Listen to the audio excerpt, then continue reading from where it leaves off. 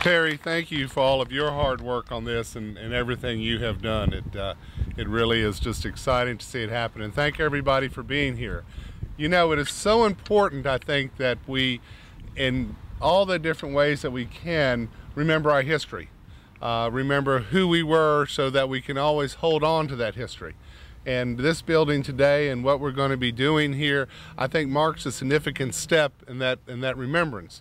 It's the only remaining building from New Town, which was a historic African American community.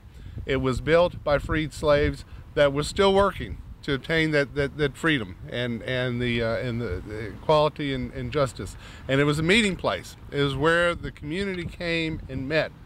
And I think why it's so important that we celebrate buildings is because as communities change and communities grow, there's always the pressure, as I think as Terry was saying, to bring in the bulldozer and to take it down and build something new. And as we do that, we become like everybody else. And this is how this is one way that we can all work together to hold on to our heritage as to who we are, to remember where we came from in our roots and our ancestors and the people who worked to make Blacksburg the community that we all are proud to be part of today. So thank you all for, for just turning out to, to be part of this celebration. I would like to introduce the three trustees who are here who are responsible. And as I call y'all's name, if you would not mind coming up because I'm going to ask you to say a few words. But Mr. Walter Lewis.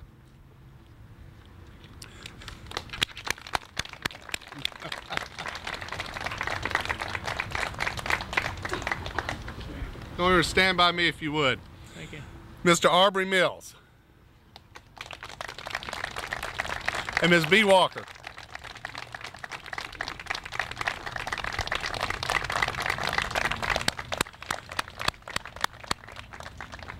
While I have you all up here, I want to thank you because it's because of your efforts, tireless efforts, that you kept the, the, this, the Odd Fellows Hall going. You kept it here intact. And then you gave it to us, the community, to celebrate with you the history that this represents. So thank you all very, very much for what you've done. Now, if you'd like to say a few words. My name is Walter Lewis. Yeah, let me get that out of your way. I'm sorry. I moved to Blacksburg in 1951. And at that time, this building, Odd Fellows St. Luke's, was the only place that for blacks, for social events, dinners, sock hop for the children, and etc. And I just want to take a minute out to thank the mayor, the town of Blacksburg, the museum committee, and all gathered for preserving the heritage of this building. Thank you.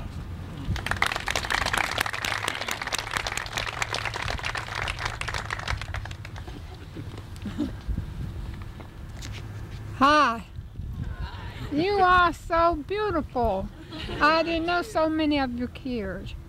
I am Beatrice Walker. I am a member of the St. Luke Lodge. And I want to thank everybody that has made it possible for us to renovate this place because it needs to know, you all need to know the history of the St. Luke and Odd Fellows Hall. And I want to thank everybody for coming out. I want to thank Alvin Hugh particularly, who started the members of the uh, St. Luke's in 2004 to try to save this building because it was in the paper that this was an endangered structure.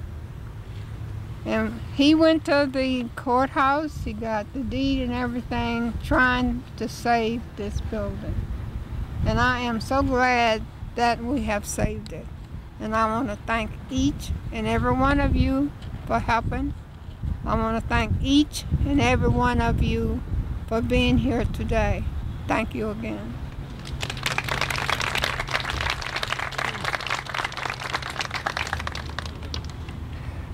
I'm Aubrey Mills of Blacksburg, and uh, I was a member of the Odd Fellows at one time. in this building right here. I was initiated in this building into the lodge. And then it was a little scary there at first when I first come into the lodge, you know, because they had this casket laid around, you know, and they had different things up on the wall, you know, which I wouldn't want around my house, you know. But I finally, after so many meetings and all like that, you know, I finally got my feet on the ground, you know. And I, I was an active member here for, I guess, about about 12 or 14 years. And it really was nice. You know, they had um, dances here, had bands, live music, uh, had a Boy Scout troop. We used to meet here. And, uh, well, everything that went on in the town of Blacksburg as far as Afro-American was concerned, it went on in this building here. And it's really nice that the town of Blacksburg has decided to preserve this building in remembrance of the Afro-American that's in Blacksburg. Thank you.